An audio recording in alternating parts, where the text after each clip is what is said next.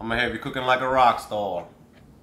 Check out this pan-seared red snapper with succotash. We got an infused scallion oil, and we got a chili crunch compound butter. I got some Camellia brand green baby lima beans. We're gonna wash them off and then put them in a pressure cooker for 45 minutes.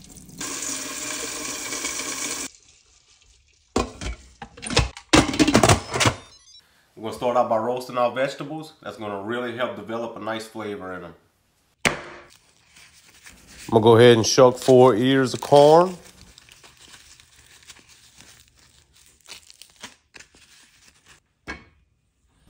Cut in half and de-seed one red bell pepper.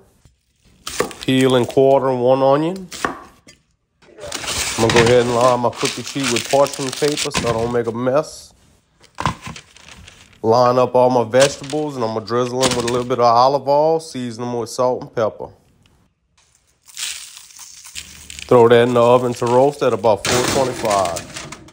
Now we're gonna make a chili compound butter that's gonna go excellent on this red snapper. I'm using this pre-made chili crunch oil, but you could go ahead and make your own if you want. Add that to some softened butter and mix it up well. Make a little scallion oil to go right on top of that succotash. Take some fresh green onions, slice them up thin. You want to cook this in some olive oil. You just want to let that poach for about five minutes to extract those flavors. I'm using a stick blender for this, but you could just as soon use an upright. Blend it up, and you can go ahead and strain it out. Once our beans are cooked, you go ahead and strain that out and cool them off with some cold water. Our vegetables are nice and charred. We could remove them from the oven, cut the corn off the ears, and then give a medium dice to all other vegetables. Get a saute pan nice and hot with some oil and butter. Throw in your limas and you want to try and get that skin nice and blistered. Add in some fresh garlic and then season it up with salt and pepper. Then you could add in those roasted vegetables.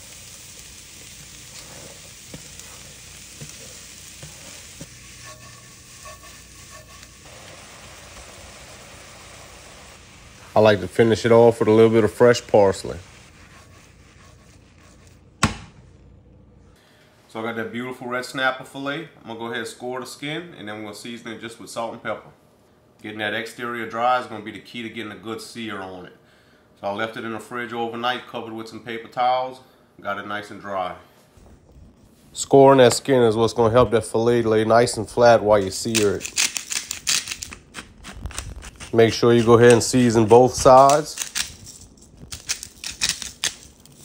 Now get your saute pan really hot with a little bit of olive oil and lay that skin side down. After a few minutes, give it a little flip. Now you could add in a big scoop of that chili butter and once that starts to melt, you could go ahead and baste your filet with it. We're gonna throw this whole pan into a 400 degree oven and let that finish cooking. Now we can plate it up. You want to put a nice serving of that succotash. Top that with some of that scallion oil. That filet of fish right on top. Put a little dollop of that chili butter. Boudreaux's Backyard and Camellia brand beans. If you need this recipe, it'll be on my website.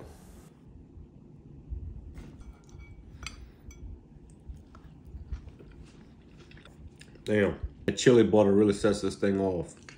That's just a perfect combination of flavors. A delicate fish over that roasted corn, those baby limas and that succotash. I'm gonna try it out.